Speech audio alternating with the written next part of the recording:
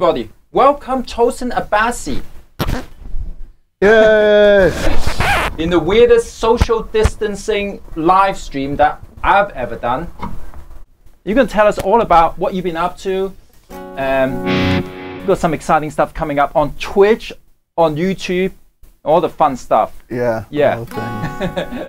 Um, but today we're gonna hang out with Tosin. He's gonna show us some of his Abasi guitars. Um, I, I know you got some new sick stuff coming up. Yeah. Yeah. We have some. Um, we have a, our Legion series coming out, which is you know, uh, it's uh, our Korean-made guitars, and it offers you know all the same features: the Fishman Fluence, my signature set, uh, multi-scale, individual saddles, locking tuners. But it's at a lower price point than the American-made stuff.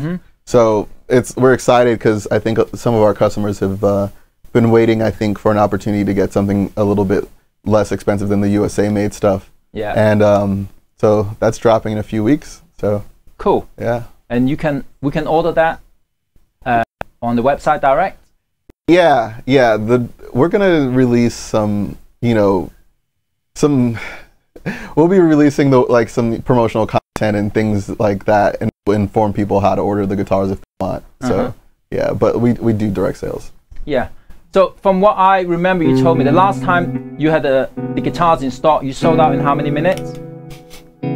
I mean, the strings were gone in less than a minute, but uh, it's just like you know we've been really uh, focused on just releasing these batches that you know they're not very big batches, but they're you know we build the guitars first and then we offer them for sale, and you know people have been really interested. So it's it's been a thing where when we do go live with you know some inventory, it kind of goes like that. The nice thing about the the line we have coming from um, the the Legion series is that we have a larger inventory, so it's it's a little less likely that things will sell out as quickly. So it's finally our chance to like offer a lot of guitars to a lot of people.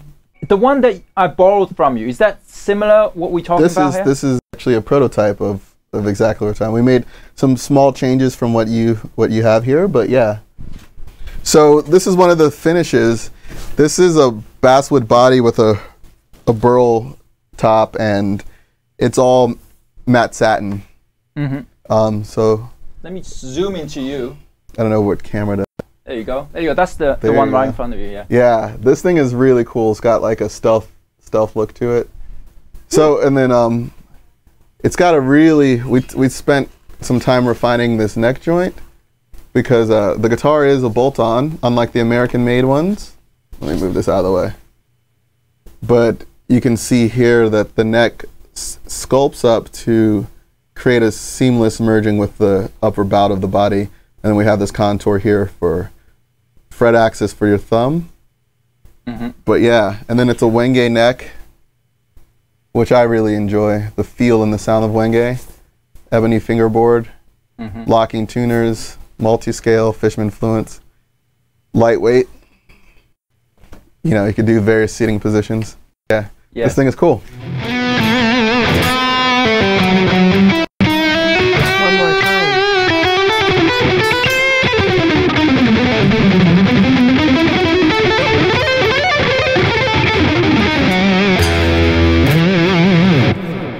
Oh, we have a raid from Twitch.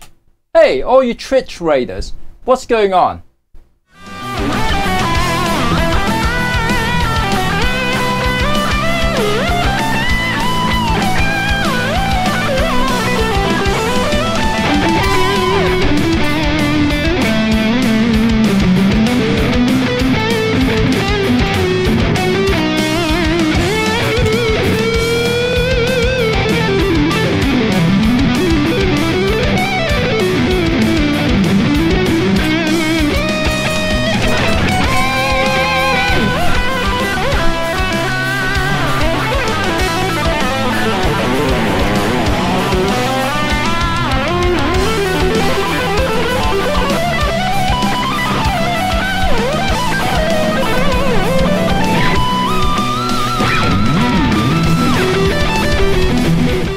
Any car type influence your Abasi guitar design?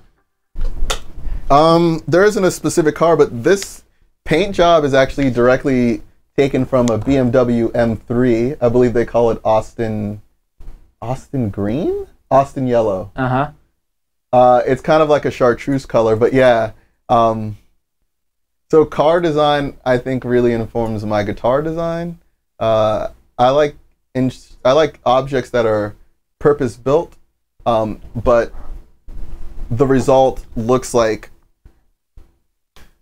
the combination of its function, but with like a type of design like eye, right? So everything from Mac laptops to Porsches, they perform a function and they're designed in a way that like makes that function um, that just facilitates it. So aerodynamics is essentially what's gonna the shape of a car is basically informed by aerodynamics, right? And so Yeah. you get certain shapes because that's how you want to reduce drag or whatever. But through that angle of approach, you end up with these beautiful sort of designs. So with the guitar, um, I thought it'd be cool to take a similar approach, but have the design reflect the ways in which the body interfaces with the, the guitar.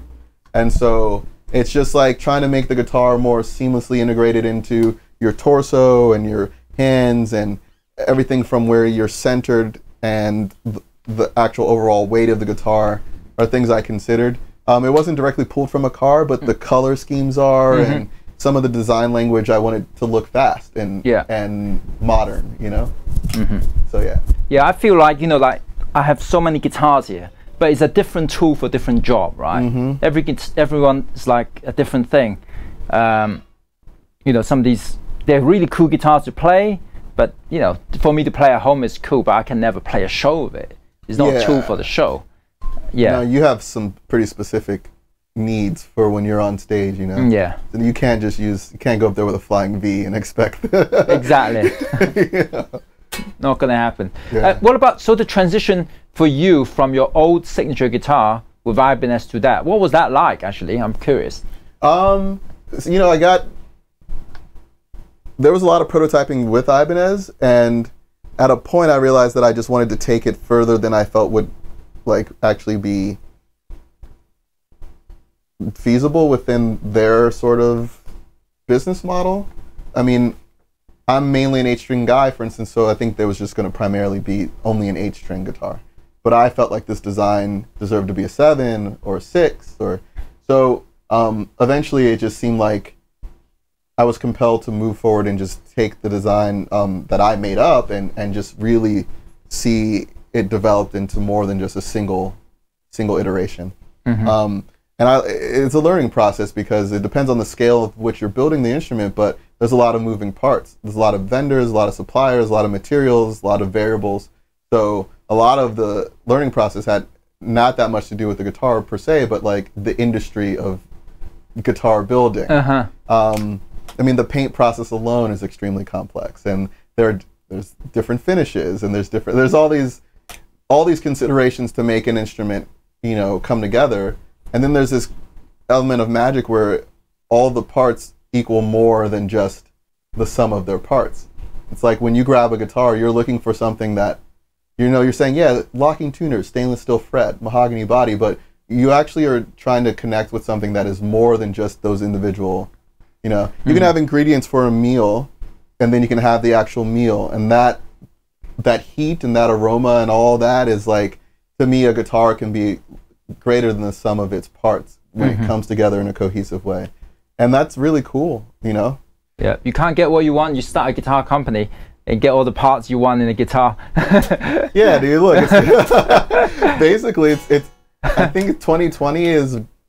I mean, we live in an age where we have resources as musicians or as content creators or as artists that I think a generation before didn't have, and um, I think it'd be a shame not to like actually take the reins as an artist and and kind of do as much as you can on your own because I think as an artist you're in the best position to decide how things get done. hmm And I, I mean I see how you're evolving too beyond being a band member or founder. There's all these other ways in which you can you are of value, and so you're at the center of how you are actually like presented to everyone else. And I think that's just part of the evolution, you know. Yeah, you don't really get that in the past.